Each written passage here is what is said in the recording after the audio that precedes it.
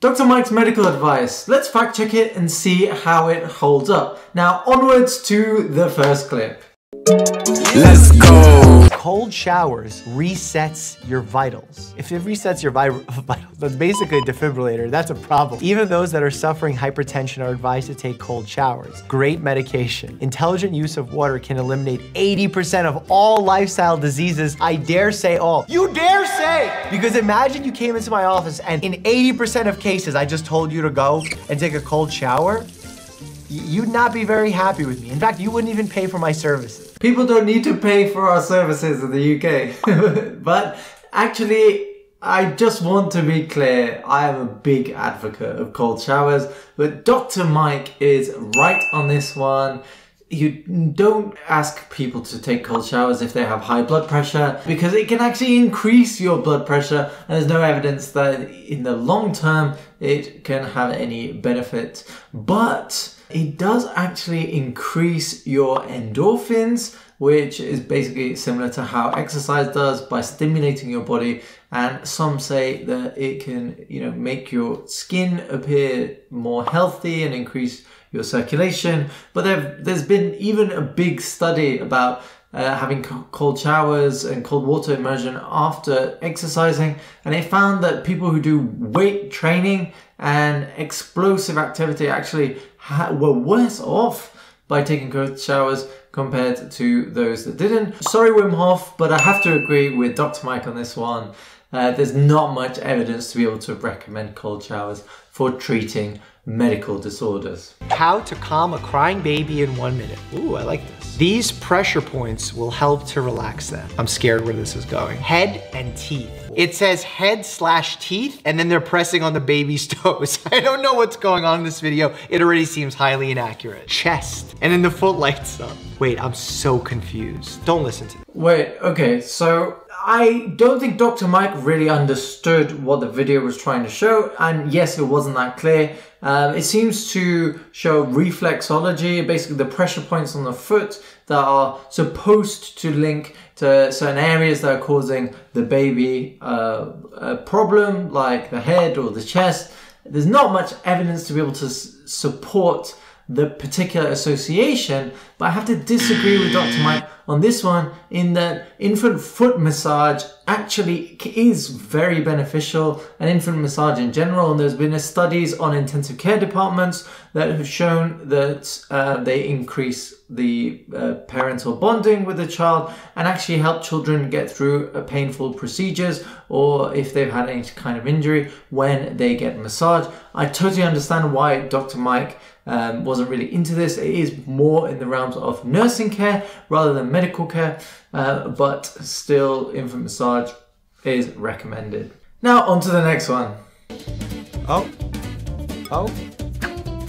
Ladies, if I'm ever down and I need CPR, this is how you do chest compressions, okay? Oh my God, I know the joke you're making, but trust me, those are not the chest compressions you want if you ever found out. You want the good ones. You want Dr. Mike on top of you, pounding your chest two inches deep, 100 beats per minute, potentially breaking ribs in order to get you help. So, I, I know Dr. Mike was doing that mainly for entertainment purposes, but two inches deep is sometimes too deep because not everyone has the same size chest. And basically, if, if like you're an infant, which is a child between zero and one, first of all, you're probably not watching this video, you're probably more interested in the dangling things from your cot, but you would probably be given um, around a third of the chest width as a marker for how deep you need to go and generally that works for all children because there can be a massive variety so if you go two inches you're actually going to be going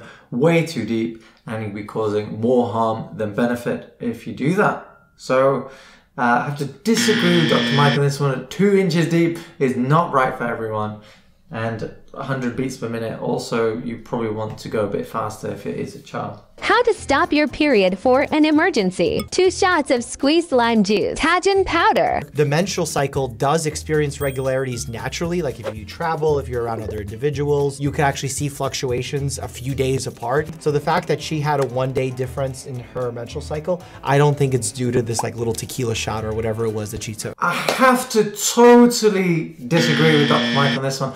So um, lime, particularly Tahitian lime, has something called flavonoids in them, which actually act on the muscles of the myometrium, which is basically where the womb is, and they can make uh, heavy periods lighter or even delay periods for some women.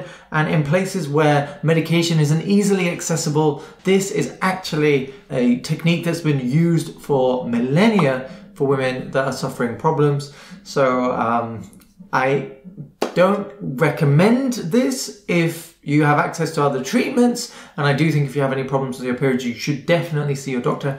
But there is science behind the effect of lime juice on periods. So, wrong on this one, Dr. Mike.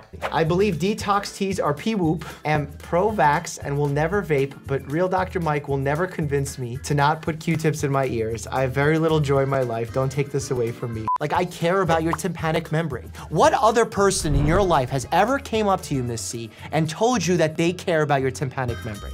I bet that's never happened before.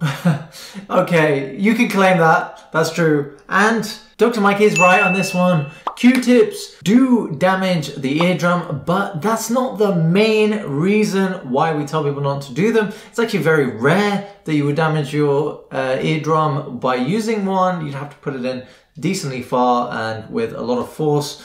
And when I was on ENT, I didn't actually see any cases. One of my bosses did say over the space of about 15, 20 years, he's probably seen about two or three cases of people who um, have damaged their eardrum with a Q-tip. The main reason why we advise people not to use them is because that pushes earwax deeper into the ear canal and it can also damage the lining of the ear canal which makes it more susceptible to infections and basically becomes counterproductive. When you push the earwax deeper it actually becomes impacted and your body's natural way of getting rid of earwax doesn't work anymore and then you need to go get them syringed which is uncomfortable and inconvenient um, and you'll need it to get your hearing back which is quite important.